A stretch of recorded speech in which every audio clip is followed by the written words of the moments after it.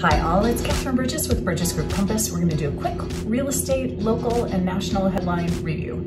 So locally, we have a market in which there have been few transactions relatively speaking. So depending on what year we're comparing to, we are 6 to 21% below the under contract average for this time of year.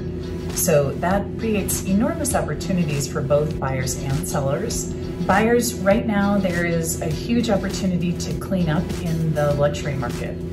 And actually in tons of other parts of the market as well. Uh, the primary thing in the other parts of the market will be lack of competition, but there may be other concessions as well. Sellers, there's a lack of inventory in all parts of the market besides the luxury market. Even in the luxury market, you can, if your house is prepared correctly and priced correctly for what buyers want today, you can do really well.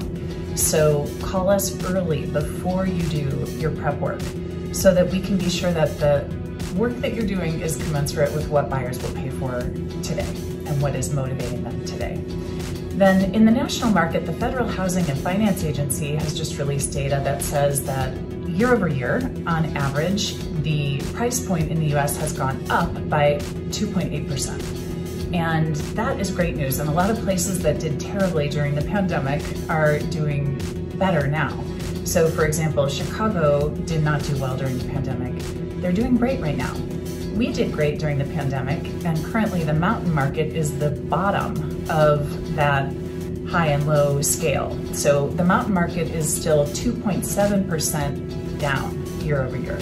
So very different than many other parts of the country. So keep that in mind as you're traveling and talking with your friends about real estate this summer. Call us with questions. We are happy to be a resource. We'll see you again in two weeks. Please like, subscribe, and share.